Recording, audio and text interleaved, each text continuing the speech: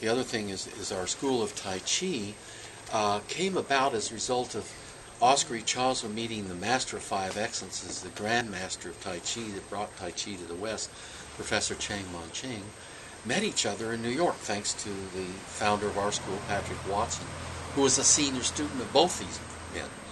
Brought both these men together, fell in love with each other, and um, uh, became great friends and shared common students. Students went back and forth across both school lines, and uh, and we did the same and got training in both schools and became teachers in both schools. Yeah, I, I found that that um, what Tai Chi gave me that I didn't experience anyplace else was a grounded quality. I mean, if I look at at my uh, if, if you go to astrological charts, I have almost no Earth in my chart, and it gave me a way to really feel my groundedness. Doesn't mean I always do, but if I choose, make that choice, I can feel that, and doing a round of Tai Chi helps me. I, I'm, I'm a mover. I love to move. I love to dance. I love to sing.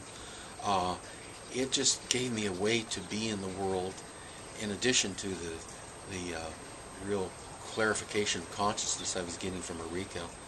Um, just kind of putting all that together was a great way to live.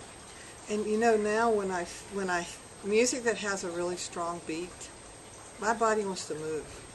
Is that there's, there's that energy that, that just wants to move, and I, we like to dance, and it brings out singing, it brings out all kinds of creative energy.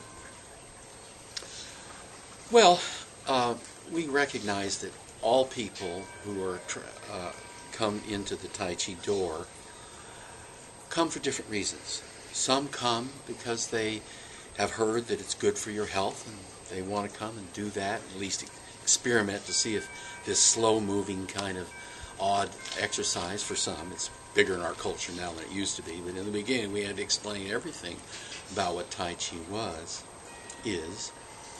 Um, others come because they have they have heard of of the great Chang Man Cheng, not many five excellent uh, five uh, masters of five excellences in the world, and we were were gra- grateful for his being our grandfather teacher. Um, want to come for that tradition uh, that's there. Um, we don't pretend, uh, pretend to think that we have achieved anything like Professor Chang had, but uh, the, the process of getting there is a lot of fun. And so those that want to invest in a more long range, um, I've been doing it for 40 years myself, and I, I don't grow tired of it at all. It's continually new. Uh, we just got back from Maui, Hawaii, where we met with um, almost, I'd say, six, six, 50, 60 teachers from all over the world, and to do work together for a whole day, which is really wonderful, uh, and to make sharings that um, we have um, uh, learned in our own way and wanted to share with others. So uh, I would say people who are real beginners uh, find a, a, place there for themselves. People who are uh, a little bit more interested, but maybe not interested in becoming teachers, and those who want to join into our apprentice teaching program, um, which allows them to make those steps to become a teacher and how to pass this uh, really essential work. Now, do you both teach? We both teach. In fact, um, the teaching that we do in our school is mostly done with teams. It gives us a chance to uh, have someone leading, another person observing what issues that need to be addressed with the students. And so that's the best way that we've found. And we're all certified, trained and certified in how to teach. So um, we bring that skill with us to our classes. Uh, the skill that we have in teaching, I think, is unique. It's, it it uh, goes beyond what you would find in most schools, quite frankly.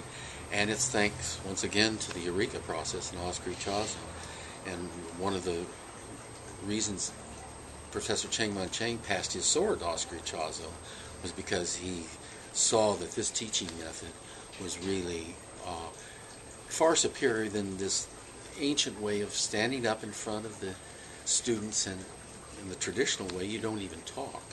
So there was no mental verbal uh, channel that helps us learn. Americans like all channels. We, we learn in a lot of different ways.